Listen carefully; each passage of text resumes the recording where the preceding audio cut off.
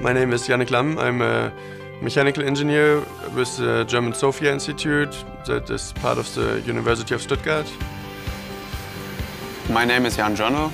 I'm an undergraduate student at the University of Stuttgart in Germany. Right now I'm doing an internship at the SOFIA project here in California.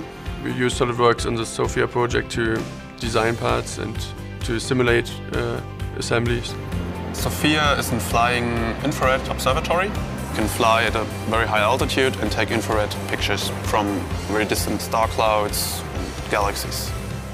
Basically, it's a 2.5 meter diameter telescope mounted in the aft fuselage of a modified 747 SP.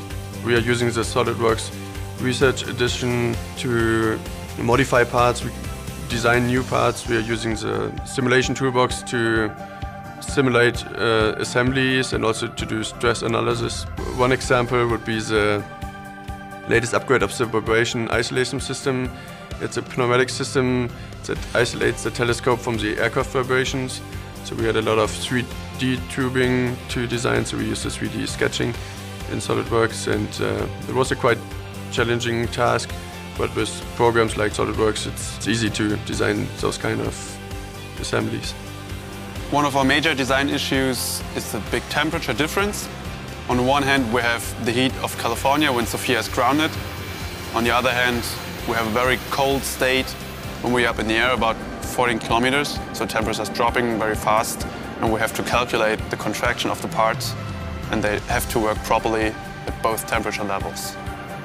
And it was pretty easy to do it with SolidWorks because you can design your parts and then you can immediately just simulate them so you don't have to use different software and convert files. You can just do it all in one software. We were able to validate our designs with SolidWorks with simulating the parts and doing the thermal simulations and motion simulations.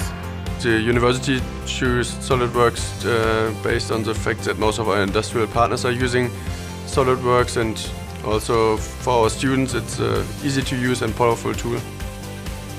The University of Stuttgart has about 18 people working here in Palmdale and more working in, at the Ames Research Center and in Stuttgart. So we have students at all three places and all of them are using SolidWorks uh, to solve their prob problems and to do their part of the overall success of the project. There have been a lot of breakthroughs already.